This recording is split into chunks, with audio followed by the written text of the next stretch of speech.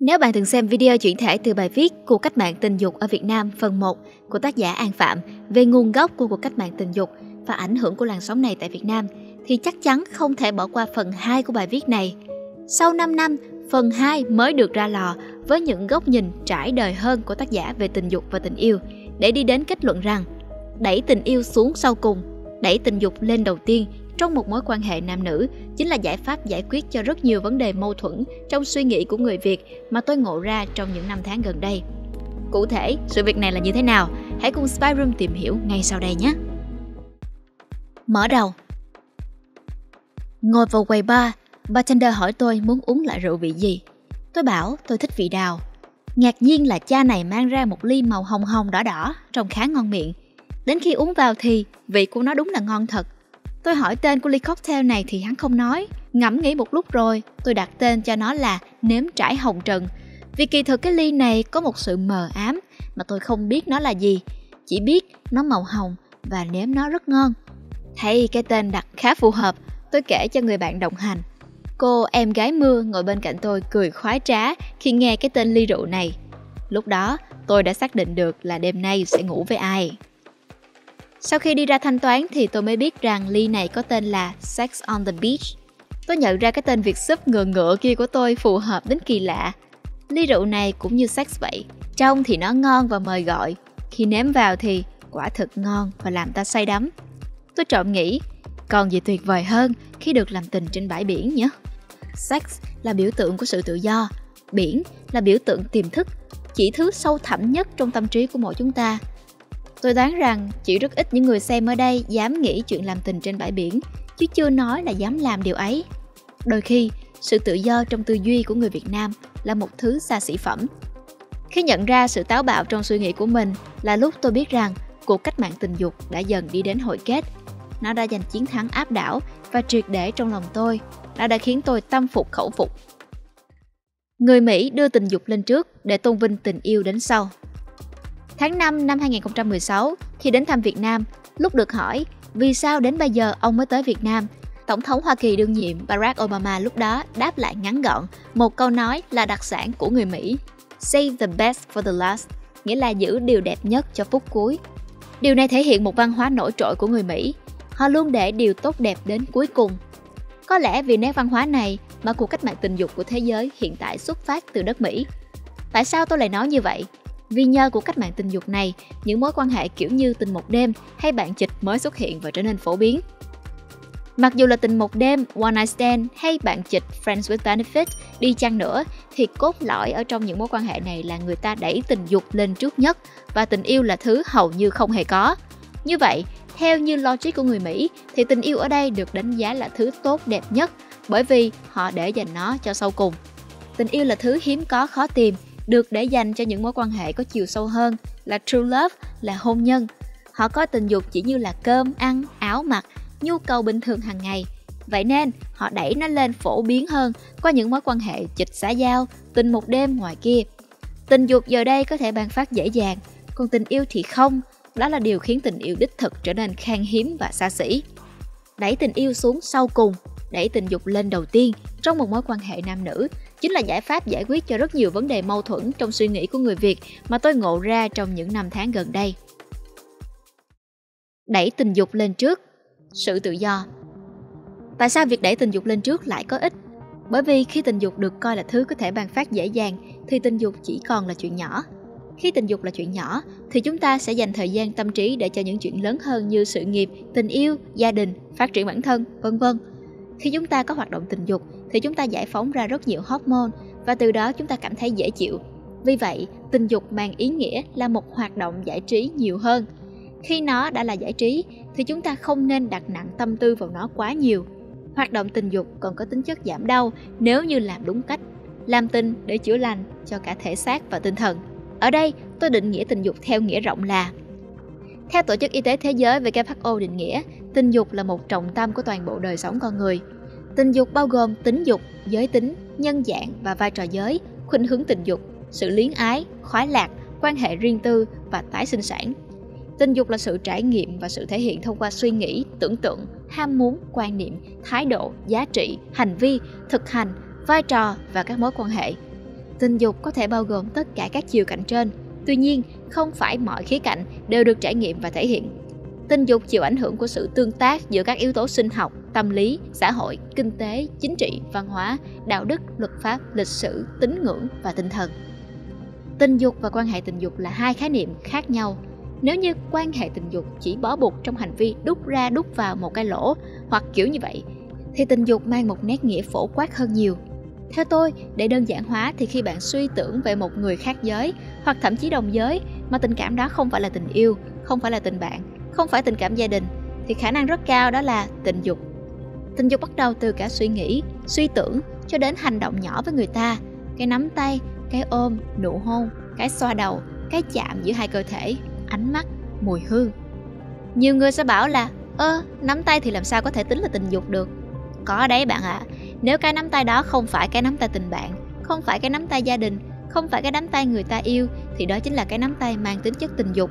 Đây là điểm mấu chốt, bạn đọc cần lưu ý, nó mang điểm khác biệt rất lớn.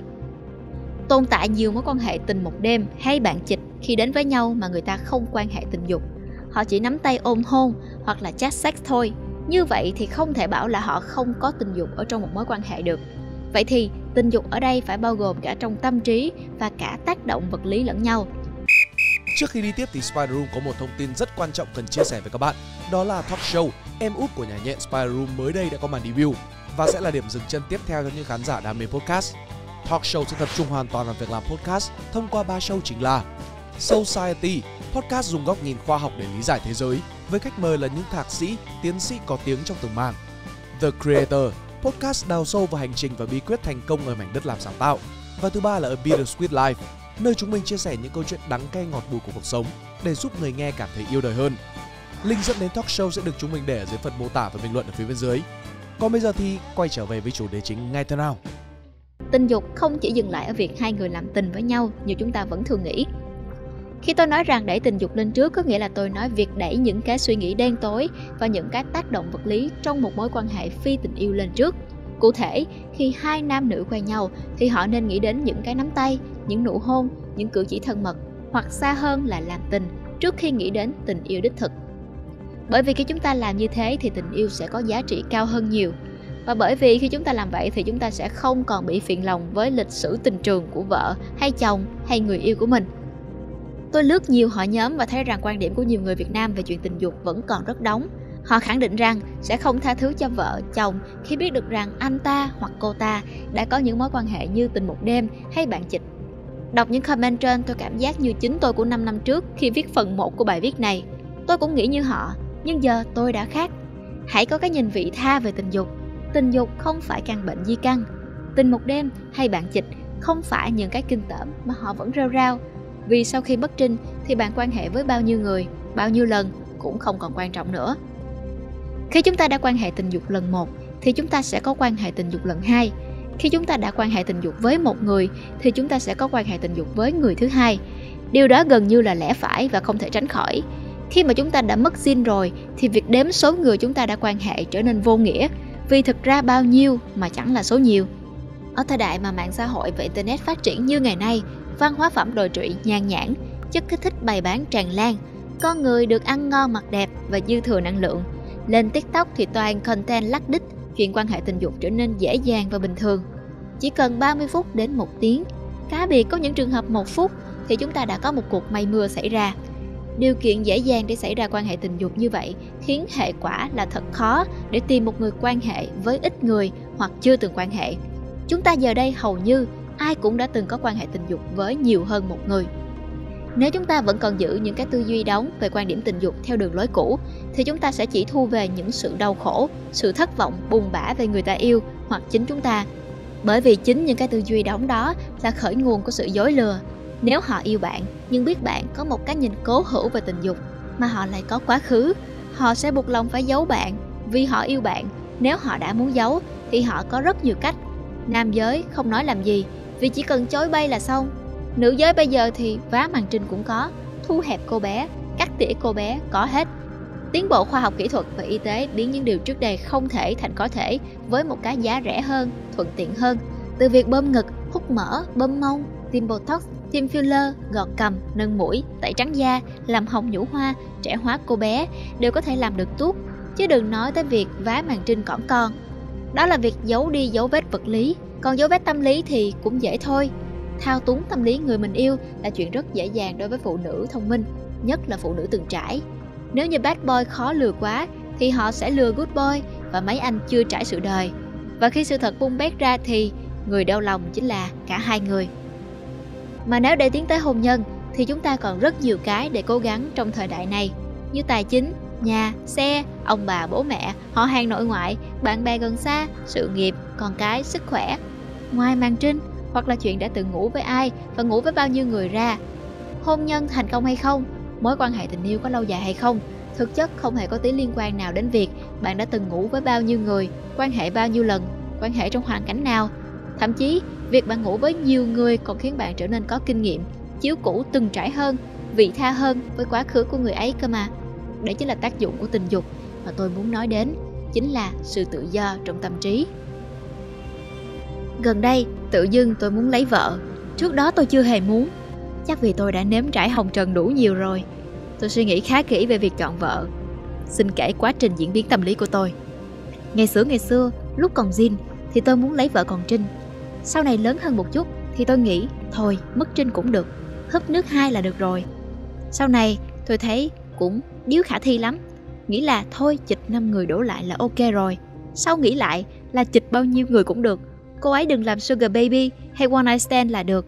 Bây giờ thì làm cái quá gì cũng được, đừng xâm, swing, gangbang hay đại loại như vậy. Riêng cái này là giới hạn cuối cùng rồi. Ngày xưa, tôi nghĩ tôi sẽ ghen lồng lộn nếu như biết người yêu hoặc vợ tương lai của tôi chịch một người mà cô ấy không có tình cảm, tức là one night stand hoặc là friends with benefit. Nhưng sau này tôi lại nhận ra tôi lại chỉ ghen với người mà cô ấy chịch khi có tình cảm. X. Bởi vì suy cho cùng, One Night Stand hay Friends with Benefit thì không khác thủ dâm là mấy và thậm chí thủ dâm còn sướng hơn One Night Stand và Friends with Benefit vì ta là người hiểu ta nhất. Còn người khác cũng hên xui, không phải lúc nào làm tình cũng như chúng ta mong muốn được. Quan trọng nhất là One Night Stand và Friends with Benefit không có tình yêu ở trong đó. Đấy chỉ là have sex chứ không phải là make love. Quan hệ tình dục không có tình yêu không thể làm chúng ta thăng hoa hết nấc được. Dù rất sướng, rất tự do, nhưng chúng ta lúc nào cũng cảm thấy nó thiếu thiếu. Cái thiếu đó chính là thiếu sự hạnh phúc đủ đầy được mang lại bởi tình yêu. Đẩy tình yêu xuống cuối cùng, sự hạnh phúc. Khoảng thời gian thích nhất khi làm tình là sau khi vừa quan hệ, hai người nằm tâm sự. Theo tôi, sự giao tiếp với nhau trong bất kỳ một mối quan hệ nào là nền tảng để duy trì mối quan hệ đó. Nếu họ bảo họ yêu bạn, nhưng quan hệ xong họ lan ra ngủ, thì họ không yêu bạn nhiều như bạn nghĩ đâu. Vì sau khi quan hệ, hormone tình yêu gia tăng rất nhiều làm chúng ta dễ chịu và mở lòng. Sau khi thỏa mãn được phần con, thì phần người sẽ lại trỗi dậy. Lúc này, ta thuần túy trao đổi với nhau bằng sự chân thành, tin tưởng, vì ta đã đủ đầy cái vật lý. Giờ, ta quay sang lấp đầy cái tâm lý. Theo tôi, sự lên đỉnh lớn nhất của con người không phải là lên đỉnh vật lý, mà là lên đỉnh tâm lý. Điểm G của vật lý thì hữu hạn, còn điểm G của tâm lý thì vô hạn. Nói chuyện với một tri kỷ hoặc một người xuất chúng thì bạn có thể vui sướng ngày này qua ngày khác. Còn làm tình thì bạn phải làm đều đặn để duy trì sự sung sướng đó. Hai cái này vốn dĩ nó ở một đẳng cấp sung sướng khác nhau. Điều này có thể được chứng minh qua tháp nhu cầu Maslow. Cái tháp này thì đã được đề cập quá nhiều rồi thì tôi không muốn nhắc lại nữa. Tôi chỉ muốn nhấn mạnh rằng quá trình làm tình sẽ đạt hiệu quả vượt trội hơn rất nhiều nếu như cả hai có tình cảm chân thành, sự tôn trọng dành cho nhau, chứ không đơn thuần là liên hoan xác thịt. Tôi gọi tình dục đơn thuần nếu như không có tình yêu là sự lạc thú. Tôi so sánh nó giống như là chất kích thích vậy. Nó vốn dĩ không bền và gây nghiện. Lạc thú có một điểm yếu chí mạng là bạn phải liên tục làm nó thì mới duy trì được cảm giác hưng phấn. Giống như hút thuốc vậy, có một điếu phải có hai điếu. Giống như uống rượu, có một ly phải có hai ly. Giống như đánh game, có một trận phải có hai trận. Nói chung, sự hưng phấn do sex thuần túy là không bền vững, làm nhiều nó sẽ bị nhờn, bị mất cảm giác và bạn phải tăng cường độ, tăng tần suất cho nó để được khoái cảm. Nó sẽ dần kiểm soát bạn. Vượt trên cả lạc thú chính là cảm giác yêu. Tình yêu hơn tình dục ở chỗ chính là chữ yên. Sự bình yên, sự cân bằng trong tâm trí của tình yêu đích thực mới làm chúng ta sung sướng, phê pha dài lâu. Nếu bạn chỉ đơn thuần là have sex chứ không phải là make love, Nhiều khi bạn sướng nhưng mà là sướng muốn chết. Cho đến khi bạn thực sự make love, bạn lại sướng muốn sống. Tôi hay ví von như vậy. Sướng chết đi sống lại trong sex thuần túy khiến cho bạn tăng lên cảm giác thiếu thốn và phụ thuộc. Giống như nghiện các bộ môn khác vậy. Nghiện sex là có thật và nó diễn ra với không ít người. Cách giải quyết điều này một cách tối ưu, theo tôi chính là bạn tìm được true love của đời mình. Khi bạn gặp được một người khiến bạn fall in love, bạn sẽ thấy rằng, à ha, trước giờ mình quan hệ sai cách, rằng, à, hóa ra con người không chỉ có thế, và rằng, à, hóa ra sự tự do đem lại của tình dục kết hợp với sự hạnh phúc đem lại bởi tình yêu mới thực sự khiến cho bạn cảm giác đủ đầy, viên mãn và thăng hoa. Đó là điểm cốt lõi tôi muốn nói ở đây.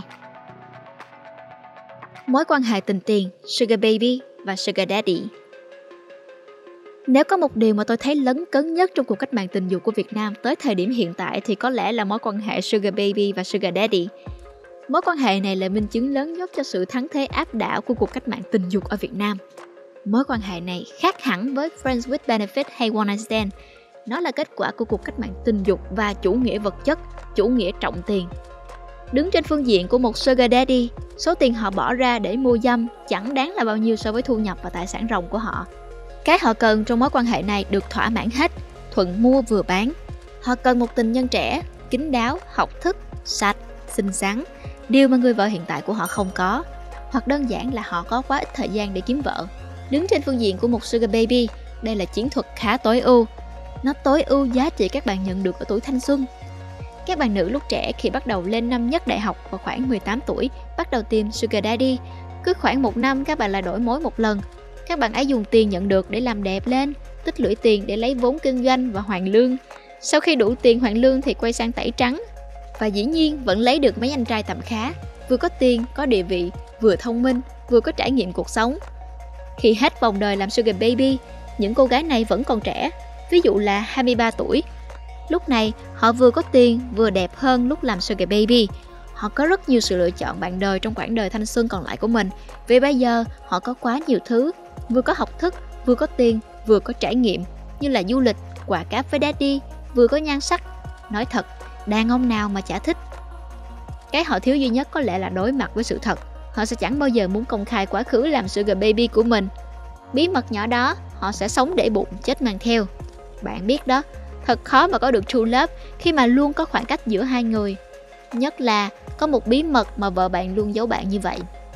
Và một ngày, mọi chuyện bung bét ra thì nếu là người chồng tôi cũng không rõ tôi có phản ứng như thế nào nữa tôi sợ nhất là việc người ta lừa dối mình chứ tôi không sợ việc người ta làm sugar baby vì người ta không ngủ với người này thì cũng ngủ với kẻ khác thôi đó là một thử thách lớn mà tôi đoán người đàn ông trưởng thành nào cũng phải thử nghĩ qua một lần là mình thì mình sẽ làm gì còn rất nhiều điều tôi muốn viết nhưng không thể viết hết ra hy vọng bạn đọc có thể hiểu được những gì tôi muốn nói và hiểu được cả những điều mà tôi không nói trong bài viết này Cuối bài, tôi chỉ muốn trích dẫn một câu mà tôi khá thích. Sex dạy cho chúng ta rằng có nhiều điều quan trọng hơn trong một mối quan hệ ngoài sex. Bạn nghĩ sao về quan điểm của tác giả? Liệu cởi mở về tình dục có đem lại nhiều lợi ích như tác giả chia sẻ hay không? Với bạn, tình dục và tình yêu nên được định nghĩa như thế nào? Hay có khía cạnh nào khác về tự do tình dục? One night stand, friends with benefit, sugar baby, sugar daddy mà bạn muốn Spy Room tìm hiểu thêm hay không? Chia sẻ cùng chúng mình ở phần bình luận nhé! Cảm ơn bạn đã xem hết video này. Hẹn gặp lại các bạn trong những video tiếp theo.